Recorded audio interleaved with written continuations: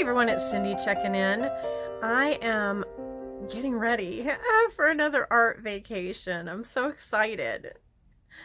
And I'm really excited because everyone from my last sale over on my vintage channel paid for their items and everything is out to be shipped today. I'm really, really thrilled about that. Can't tell you how thrilled I am about that. That means that I can concentrate now on art. So let me share with you what I, so I, I took a, I took a little break after I got all the packages done and out and ready for pickup.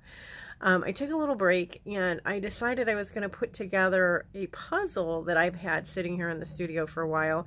It's a really vintage puzzle and it's one that did not have a picture, so you didn't know what you were going to assemble. So this is the box. It was really fun. Um, and I'm very grateful because whoever had it before me left a whole bunch of pieces of the puzzle still assembled. So it didn't take me terribly long to do it. I was watching a video from YouTube while I was assembling the puzzle. It was great.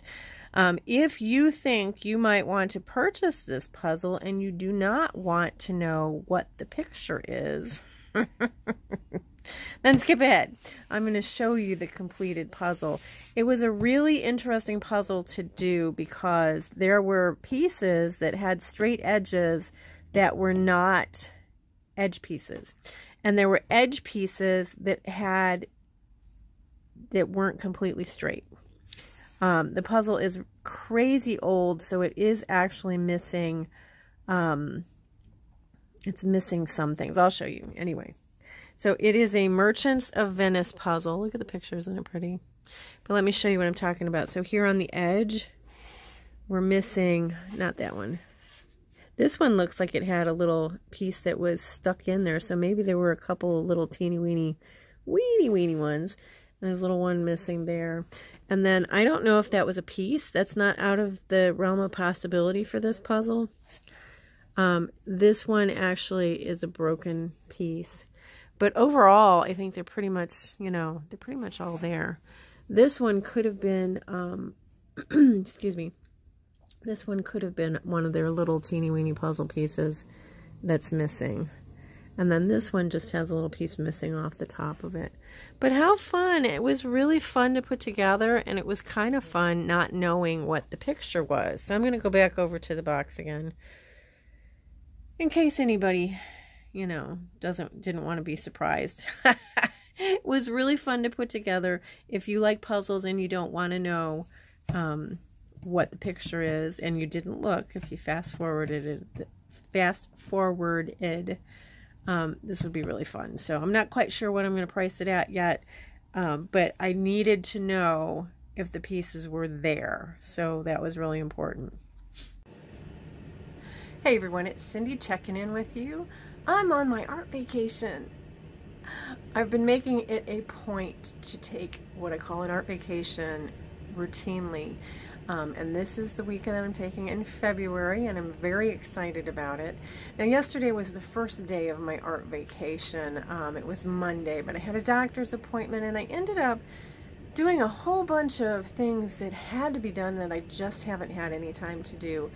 And um, so that was good. Got some things off my plate. I don't have to worry about them or think about them any longer. But today I'm back in the studio and um, let me show you some of the things I did yesterday as well as what I'm planning to do today. All right, so you see over here on that table, I did go to an estate sale on Sunday. Actually, I went a whole bunch of places Sunday. Um, so I brought home the stuff, pulled it out, was going through, um, making sure I knew what I had, it was one of those things where I paid, um, I did pay certain things for certain items, but in the end I got a really good deal. So I wanted to just kind of get a feel for what things really were per item, if that makes sense. Then over here I started pulling some things for my sales. Um, I've got five sales in several short days, in two weeks uh, coming up when I'm done. So I started pulling that. I pulled um, items over there for some sales. So that's what I did as far as the um, vintage business went. Because even though I'm on vacation, I still have to get stuff done. So I did clear off my table today. Uh, don't you love my little makeshift? Um, it's like some stitches there on the back to protect that uh, weak spot on my tablet. Um, but I am getting ready to play some more with a new Gelli plate that I got because I had wanted to, first of all, I'm going to turn you around. So one of the things that I wanted to do, um, this was last week, was to make sure that I was either going to keep or get rid of my color laser printer. Um, I believe that whole story was in my last blog post about how I got this huge unit and I wasn't quite sure what I wanted to do with it. Um, I'm probably, I, I don't know if I'm going to be using it for my um, art print cards or not. Um, talking to my friend who's also an artist, um, you know, it's not like the cards are to be considered uh, giclée prints or whatever things, you know, that are actual professional um, prints that you would hang on your wall or whatever. They're note cards. so the possibility still exists that I could use um, it for that purpose. But for all the other purposes that I picked it up for, I think it's going to work just fine. Um, I was very interested to see if I could get some good prints off of it just for use in my collage work. So I was able to get some nice prints. I printed off this collage sheet and this was turned into a, grayscale uh, picture and then I added some tinting to it which is why it's not um, solid and I think it came out okay. My reasoning, one of my reasons, and these are images, by the way, from Magic Moonlight. I got them off of Pinterest. Anyway, one of the one of the reasons why I wanted the laser printer was that when I do have time for art, and it's very limited, even though I have an art studio, when I do have time for art, often an idea will come to me and I have to act on it or I should act on it then. So many times I might want an image or whatever, and I have a huge library of images, um, many of them copyright free from things that I've picked up um, on my computer. Well, I could use that image, except I have to then send it as a file over to our local print shop. I have to go pick it up, bring it back, because most of the time, um, inkjet prints do not work for the things that I'm planning to make them work for. So to be able to do this on the fly and have um, nice quality crisp images uh, was a was one of the reasons why I really wanted to to have the printer. Um, the other, well, here and here's the color. They, that had some color in it, but I don't think you could tell. So I did these. I had these images. These are old vintage postcards. Um, and so I was able to scan those and uh, print those off. And I'm really happy, actually, with the clarity of those. I think they came out really nicely. And here's a couple other ones you can see. I'm, you know, I, I think they did what I wanted it. I think it did what I wanted it to do. Then the other thing that I was very, I thought if it if it'll do this, then I'm keeping it for sure. So one of the things that I wanted to try was I wanted to try doing a uh, photographic transfer on my Gelli plate. And um, so I did go ahead and try that out. And I had some fails before I had some um, successes partly because I th there, there's an act to it. But anyway, so I, I did purchase myself a new Gelli plate, a small one. I have a huge one. I don't know where it is. I took it somewhere one time to play, and I don't know, it didn't go back where it was supposed to. So I got that, um, which is nice too because I can use that to roll off paint when I do find the, the new one, um, all kinds of fun stuff. So I printed off, and I don't have the actual, um, I don't have the actual pieces here. I don't know where they are. I, That's just the way my life is. So rather than hunt forever and never make the video, I'm going to go ahead and show you what I did without having them. I can duplicate the process, but actually I think I'm going to do them this as a class proposal and I so therefore I'm not going to teach it to you here but I'll kind of show you what I did so this one was a fail okay now you see the blue paint all over it.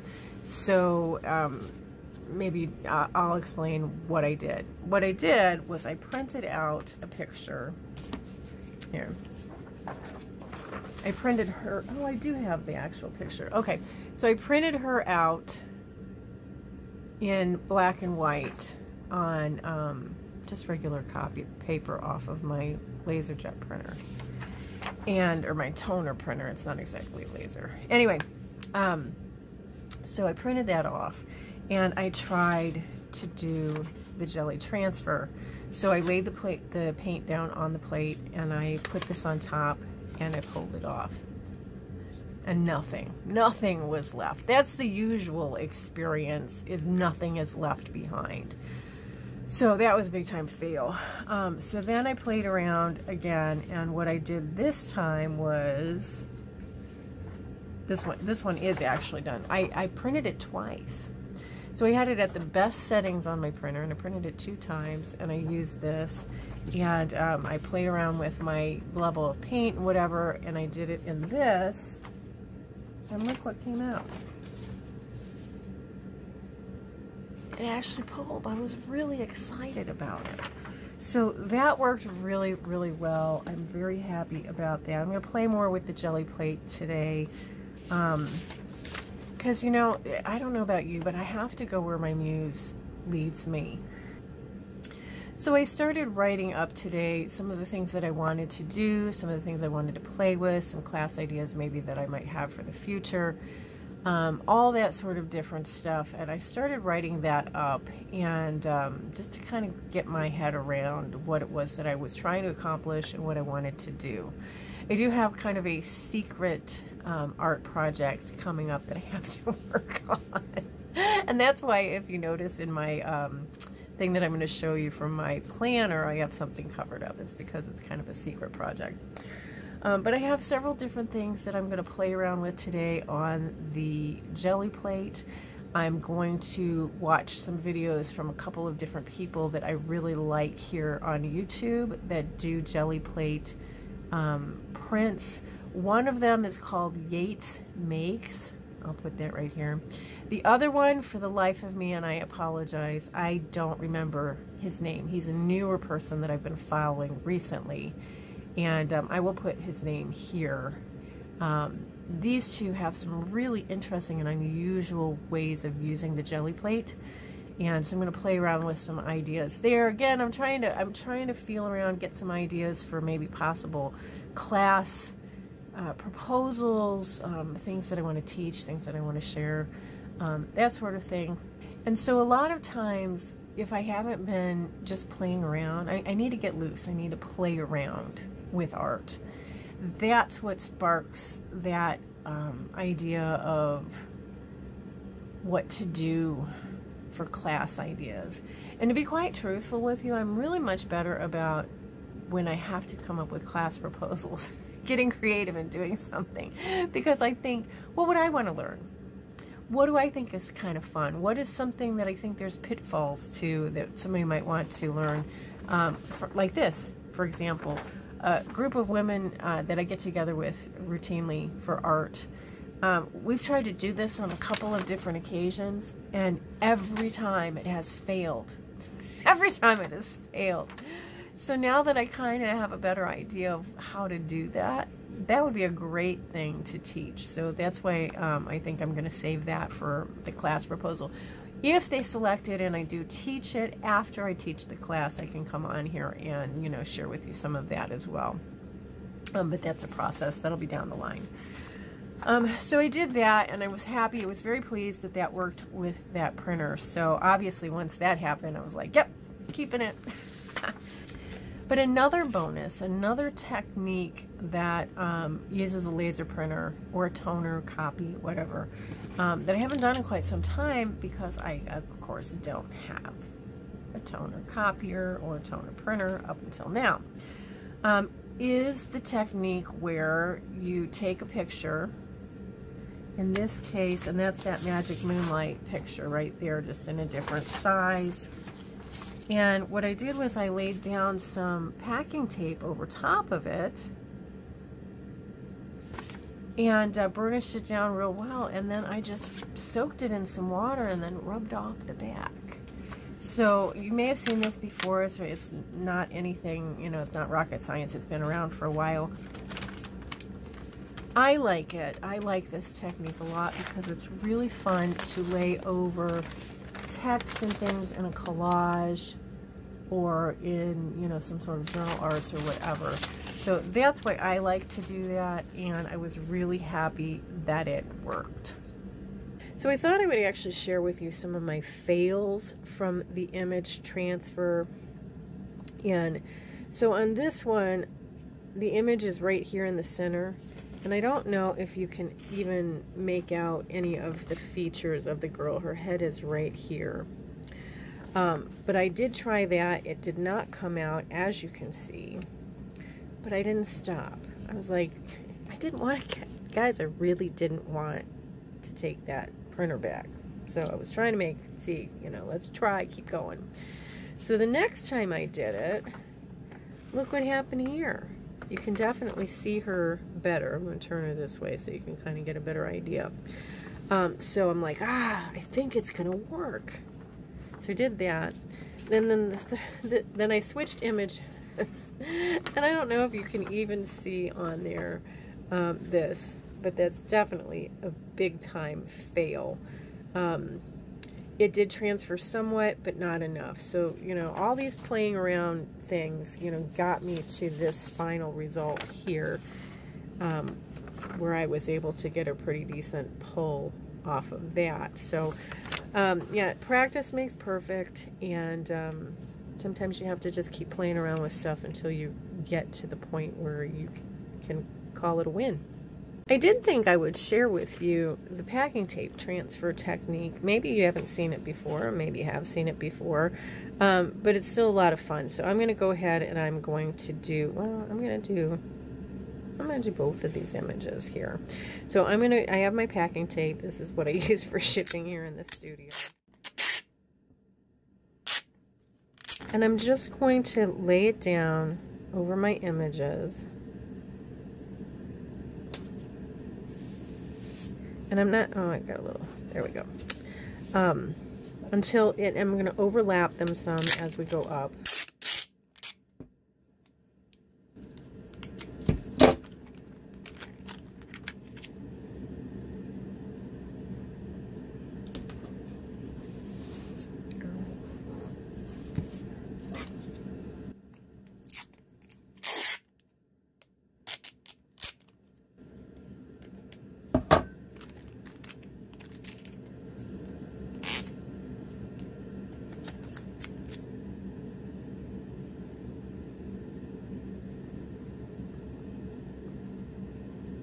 Okay, so I don't like to have huge overlaps because they're very, you can really see them. So I tried to make sure that I didn't overlap that much. Now this is where you might want to have, um, let's get it out so you can see it better, um, where you might want to have uh, like a, oh I keep forgetting what the word is for printmaking to go over it, or a um, bone folder um, I'm just actually going to use my fingernail to go over this just to make sure it's down real nice. So I have it really nicely burnished down. I did trim the images out.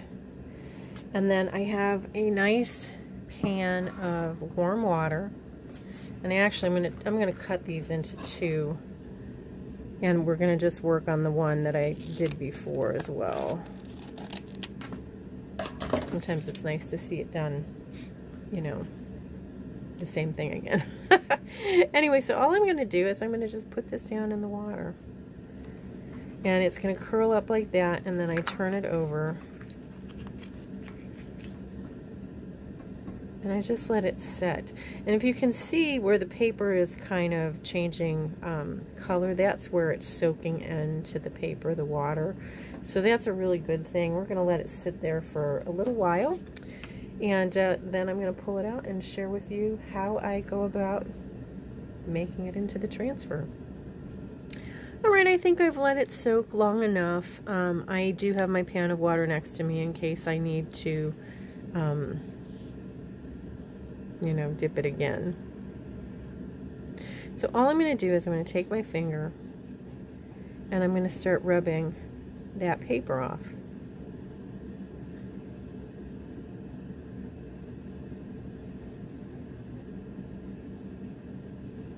You want to use a firm pressure, but you don't want to be too overzealous with it because you don't want to rub the ink or the toner off of the paper underneath. So I'm going to just put this back into my water real quick. What it does is it just dampens it up again and it gets rid of all the little flakes.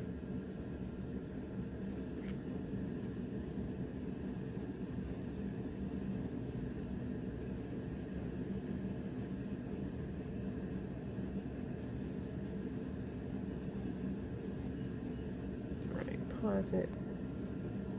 So I've got most of it off. I left a little area here to show you. You can see how that's cloudy there. That tells me that we still have paper that needs to come off. This over, whoops, where am I at? This over here as well. And of course, I think it's pretty obvious that I need to get all of that off. So we're gonna go ahead and keep doing that.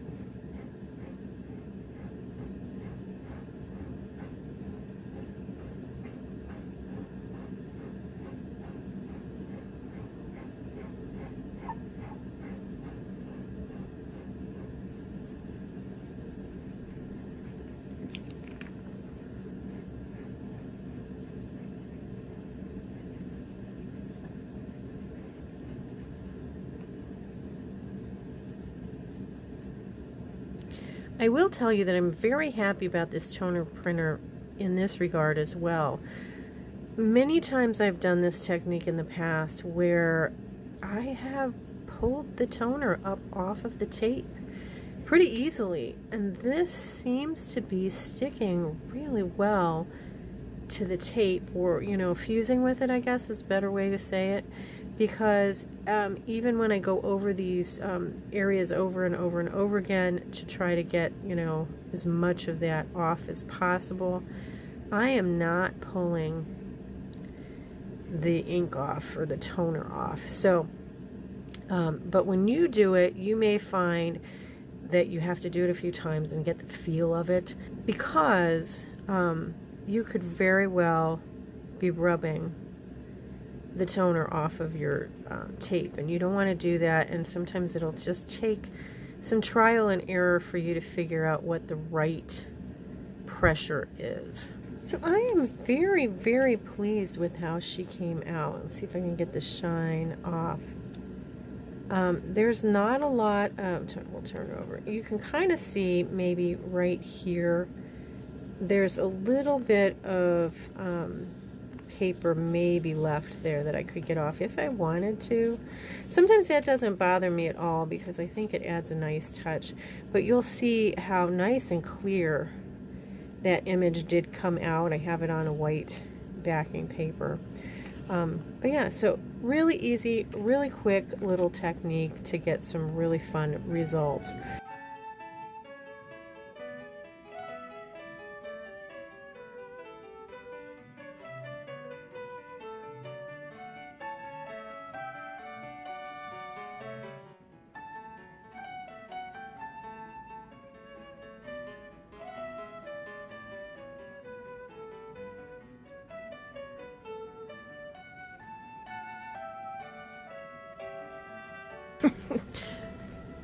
I thought I'd film the aftermath. So it's about time for me to pack up, clean up, and head home. And I don't know about you, but does your workspace look like this? When you're done doing art for the day?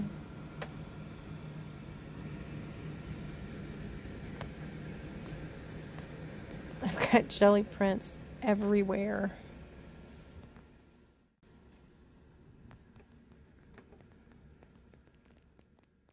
So yeah, I have Gelli prints everywhere, and I have to tell you that the majority of them did not work. it's so frustrating. I'm beginning to think I'm not going to have any class proposals um, by the end of the week because if I can't get anything good out of this stuff, how's that gonna how's that gonna work? so I've gotten everything pretty much put away, ready to go home for the day. Don't you love my hands? anyway, I thought I would share with you what I got done today, the good, the bad, the ugly. I was playing on the Gelli plate all day today, and these are some of the prints that I um, finished. I actually like this. This was an accident. Um, I was pulling off. I even this, I used a scrap piece of paper just to pull off ink after I made a mistake using trying to do those um, transfers. But uh, these are all the different things that I did today. Um, this one I can tell you what I did here. I had way too much white paint on the um, gel plate there. This one's kind of neat. This one has um, some detail in it from a st uh, stencil.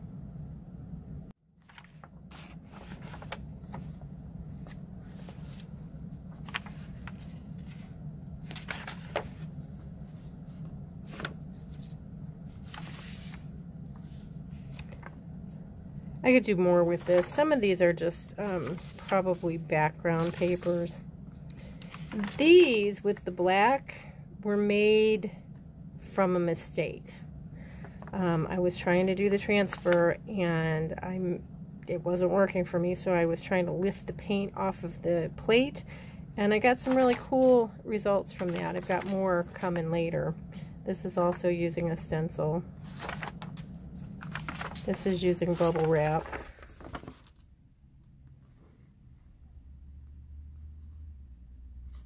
Like this one, this was one of those mistakes that I was trying to just get the paint off of the plate.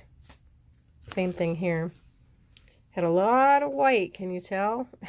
this is probably one of my favorite ones, actually, and this was one of those mistake ones um, from just trying to get the paint off of the plate. I just really like the grunginess of this one.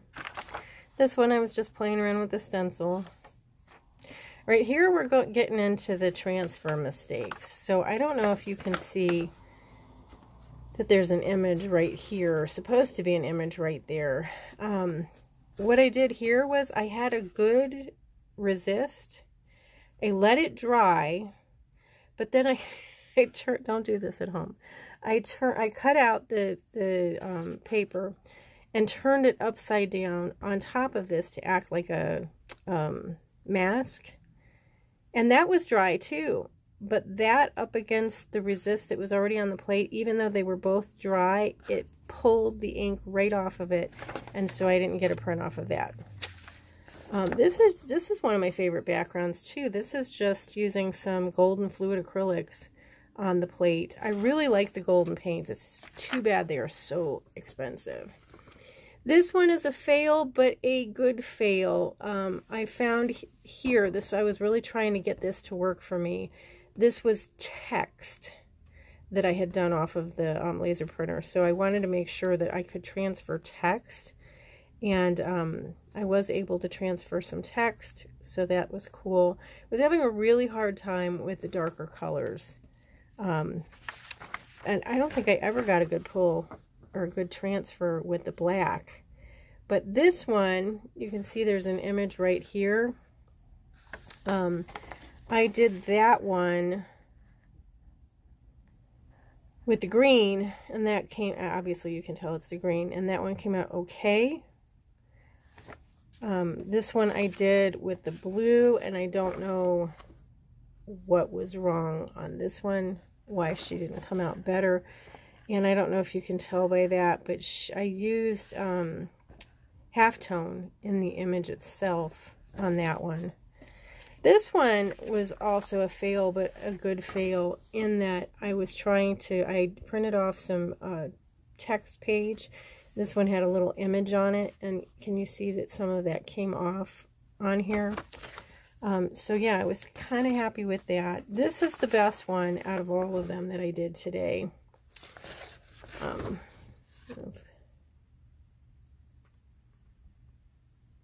you can see her there. But yeah, I, I'm I'm a little frustrated with it. I think most people that do this, I mean, you always see the good videos of people. I'm going to turn the camera around so I can talk to you. Hold on. So I think that we always see the good stuff when people put it on YouTube. Um, and I'm, I'm just wondering now how many polls, how many times I'm going to have to do this in order to get it to work for me um, consistently, consistently work for me. Part of it, um, one of the interesting things, my brayer, I've been cleaning it as I go. I've been using a baby wipe, rolling off on a baby wipe, rolling off on uh, paper. And I don't know if it's the type of brayer that I have, but it's not all coming off. And I don't know if that has something to do, well, I digress. I don't know if that has something to do with what was happening, so I'll explain. Um, what, when I would put down the golden fluid acrylics, which is the ones that actually worked the best, I would roll it and I would get nice coverage and it looked good. And I'd think, oh, well, maybe I need to roll off a little bit more to get it thin because thin is the key. And at a certain point, the brayer would roll the paint right back up on the brayer, completely off of the gel plate, nothing left.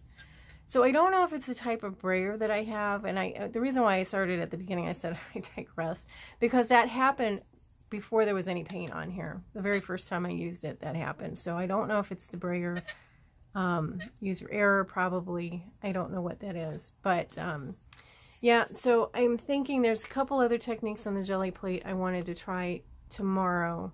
But then I'm going to have to start thinking about something else.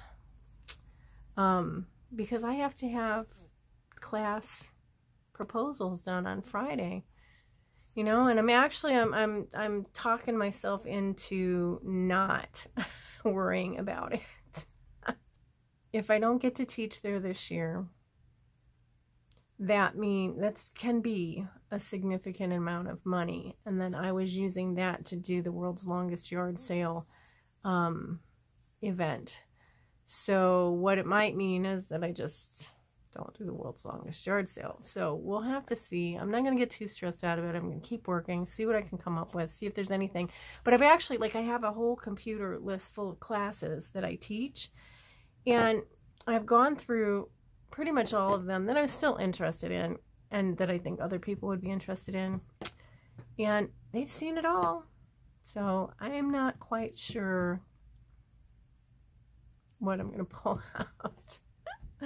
Anyway, hey guys, thank you so much for joining me. I hope that you enjoy this behind the scenes of an art studio. I'm a working artist, although really my vintage pays the bills. So I'm still struggling to be an artist. I hope maybe some of you out there maybe are in the same situation and are interested in how that works. I don't know. um, and hey, if you came over from Mimi's Treasure Cottage, I hope you like the behind the scenes of that as well. If you're new to my channel and you like this sort of thing, please consider subscribing. And for everybody, please don't forget to give the video a thumbs up and a comment. The comments are so important. Um, even if you just leave punctuation or an emoji, it all helps the YouTube algorithm, helps the channel get noticed. And one of my goals is to get to a thousand by the end of the year on this channel, on uh, Cyndi Duncan Art. So I could use your help, share with people that you think might be interested. And um, I will see you all in the next one. Bye for now.